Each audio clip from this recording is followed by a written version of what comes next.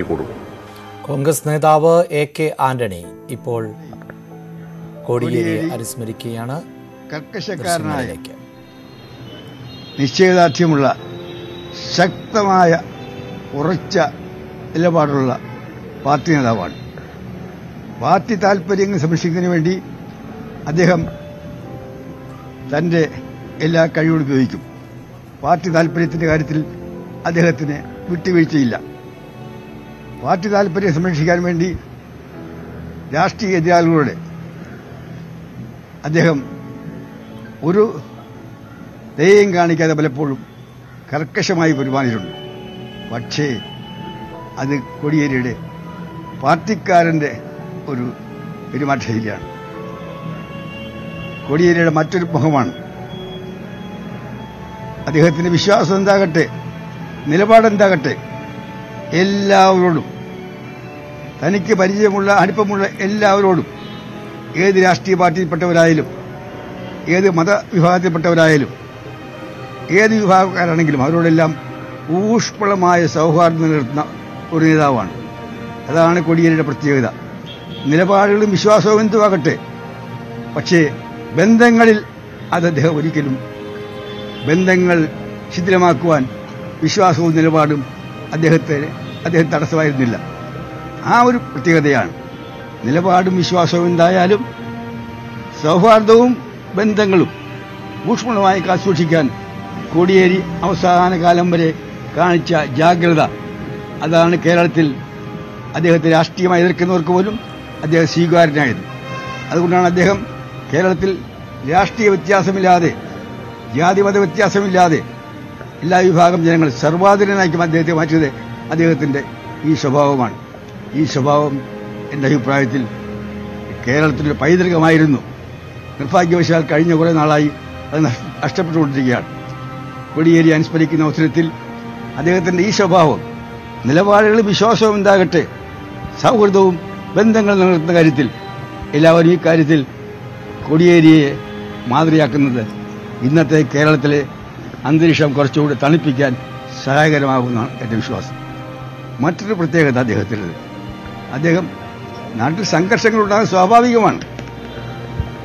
രാഷ്ട്രീയ സംഘർഷങ്ങൾ ഉണ്ടാകാം സമുദായ സംഘർഷങ്ങൾ ഉണ്ടാകാം മറ്റ് സംഘർഷങ്ങൾ ഉണ്ടാകാം സംഘർഷ മേഖലയിൽ കൊടിയേരി വന്നാൽ ഒരിക്കലും കൊടിയേരി എരുതിയിൽ എണ്ണ ഒഴിച്ച് സംഘർഷം ആളിക്കത്തിക്കാൻ ശ്രമിക്കാറില്ല.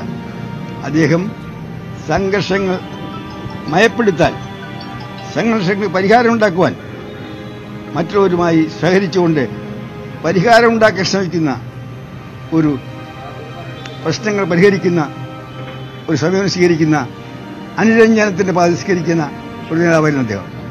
ഈ സ്വഭാവം അദ്ദേഹം അസംബ്ലിയിൽ പ്രകടിപ്പിച്ചിട്ടുണ്ട്. ഞാൻ മുഖ്യമന്ത്രിയും വി എസ് അച്യുതാനന്ദൻ പ്രതിപക്ഷ നേതാവും കോടിയേരി ബാലകൃഷ്ണൻ ഉപനേതാവുമായിരുന്ന അവസരത്തിൽ ഒരുപാട് സംഘർഷങ്ങൾ അസംബ്ലിയിൽ ഉണ്ടായിട്ടുണ്ട് പല പ്രശ്നങ്ങളുടെ പേരിലും അസംബ്ലിക്ക് പുറത്തും ഉണ്ടായിട്ടുണ്ട്. ആ ഘട്ടങ്ങളിൽ തൃശ്ശീലയ്ക്ക് പുറകിൽ നിന്നുകൊണ്ട് കൊടിയേരി ബാലകൃഷ്ണനും ആര്യാട്ടൻ മുഹമ്മദുമാണ് സംഘർഷങ്ങൾ ലഘൂകരിക്കാനും ഏറ്റവും സങ്കീർണമായ സാഹചര്യങ്ങളിൽ പോലും അതിന് പരിഹാരം ഉണ്ടാക്കാൻ വേണ്ടി പരിശോധിച്ചിട്ടുള്ളത് ആ സഹായം ഞാൻ ഈ അവസരത്തിൽ വളരെ നന്ദിപൂർവം ഓർക്കുകയാണ്. മറ്റദ്ദേഹത്തിന്റെ ഗുണം രാഷ്ട്രീയ പ്രവർത്തനങ്ങൾ ഇരുപത്തിനാല് മണിക്കൂർ മുടങ്ങിയാലും അദ്ദേഹം ജീവകാരുണ്യ പ്രവർത്തനങ്ങളിൽ പ്രത്യേകം ശ്രദ്ധിച്ചിരുന്നു. മനുഷ്യസ്നേഹിയായ ഒരു രാഷ്ട്രീയ പ്രവർത്തനമായിരുന്നു അദ്ദേഹം. കേരളത്തിൽ ഒരു കാലത്ത് തിരുവനന്തപുരത്തെ ആർ സി സി മാത്രമായിരുന്നു ക്യാൻസർ രോഗികളുടെ ഏക ആശാകേന്ദ്രം. തിരുവിതാംകൂറിനേക്കാൾ കൂടുതൽ ക്യാൻസർ രോഗികൾ മലബാറിൽ വർദ്ധിച്ചൊരു കാലഘട്ടമായിരുന്നു. ആ കാലഘട്ടത്തിൽ ആർ സി സിക്ക് ശേഷം തലശ്ശേരിയിൽ ആദ്യമായി ഒരു ക്യാൻസർ ആശുപത്രി സ്ഥാപിക്കാൻ വേണ്ടി മുൻകൈയെടുത്ത് തുടക്കം മുതൽ ആ ആശുപത്രിയെ കേരളത്തിലെ ഒരു ഒന്നാം കിട ആശുപത്രിയാക്കാൻ വേണ്ടി നിരന്തരമായി പരിശ്രമിച്ച ഒരു ജി- മനുഷ്യസ്നേഹിയായിട്ടുള്ള ഒരു നേതാവായിരുന്നു അദ്ദേഹം. ഇന്ന് മലബാറിൽ M E R cancer centre പോലുള്ള ധാരാളം ക്യാൻസർ ആശുപത്രികളുണ്ട്. കേരളം ഒട്ടാകെ ഇന്ന് ധാരാളം ക്യാൻസർ ആശുപത്രികളുണ്ട്. പക്ഷേ ഒരു കാലത്ത് തിരുവനന്തപുരത്തെ ആർ സി സി മാത്രം അഭയമായിരുന്ന കാലഘട്ടത്തിൽ മലബാറിലെ ക്യാൻസർ രോഗികൾക്ക് വേണ്ടി ആദ്യമായി ഒരു ക്യാൻസർ ആശുപത്രി തുടങ്ങാൻ വേണ്ടി ഒരു മിഷനറിയെ പോലെ പൊതിച്ച ജീവകാരുണ്യ മനോഭാവമുള്ള കൊടിയേരി ഞാൻ അനുസ്മരിക്കുന്നു. ഞങ്ങൾ വളരെ വർഷങ്ങളായി അടുത്ത സുഹൃത്തുക്കളാണ്. വളരെ വർഷങ്ങളായി. രാഷ്ട്രീയമായി ഏറ്റുമുട്ടുമ്പോഴും അതിനിടയിൽ അഭിപ്രായം കണ്ടെത്താനുള്ള അദ്ദേഹത്തിന്റെ ശ്രമം എന്നെ എപ്പോഴും ആകർഷിച്ചിട്ടുണ്ട്.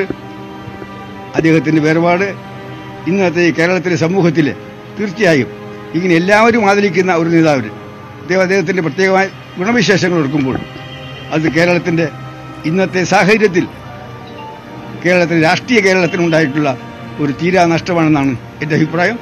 അദ്ദേഹത്തിന്റെ വേർപാടിൽ ഒരിക്കൽ കൂടി എന്റെ അനുശോചനം കോൺഗ്രസ് പാർട്ടി അനുശോചനം രേഖപ്പെടുത്തുന്നു. നമസ്കാരം. ജയ്